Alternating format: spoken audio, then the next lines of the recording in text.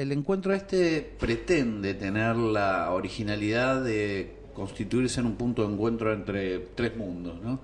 Eh, uno tiene que ver con el mundo universitario y el fenómeno de la comunicación, y para eso hemos invitado a, docentes eh, importantes de, la Facultad de Ciencias de la Comunicación, como Glenn Potolsky, como Letieri o como Luis Alem, poco para que cuenten cómo se está dando este, este, en esta coyuntura histórica el proceso de la comunicación, cómo se relaciona eh, este fenómeno con la ley de medios, etcétera, etcétera. El segundo mundo que aparece ahí en, componiendo los paneles es el mundo del pensamiento nacional, eh, que es una corriente extraacadémica que paradójicamente no, no, transita por el mundo académico, sino que más bien eh, está constituida por una producción extraacadémica. Y en ese sentido, bueno, convocamos para integrar los paneles desde Enrique Manson o Pablo Hernández, Ernesto Goldar. Eh, hombres que vienen de ese mundo, ¿no? que es del mundo del pensamiento, pero por fuera de la academia.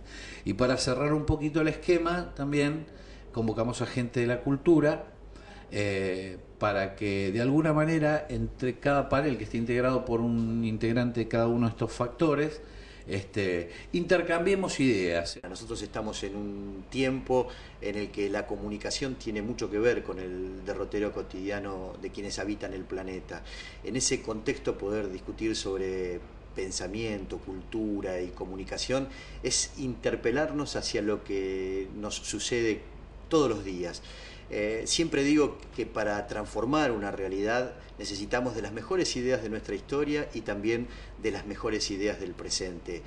Y en la actualidad, el escenario donde se debaten las ideas por excelencia es el escenario de los medios de comunicación. Por lo tanto, es muy importante eh, saber de dónde venimos, eh, poder analizar este presente histórico que nos toca atravesar, presente histórico que nos muestra una fotografía de América Latina impensada algunas décadas atrás y que hoy realmente es muy importante en función de la cantidad de gobiernos nacionales y populares que existen y de la participación eh, popular que hay eh, en el acontecimiento de nuestros países. Entonces, en ese contexto nos va a tocar explicar cuáles son las estrategias eh, para que haya una América Latina cada vez más integrada, una América Latina con mejor y mayor comunicación y fundamentalmente una región que empieza a contarle al mundo desde su propia idiosincrasia y de su propia identidad lo que le pasa.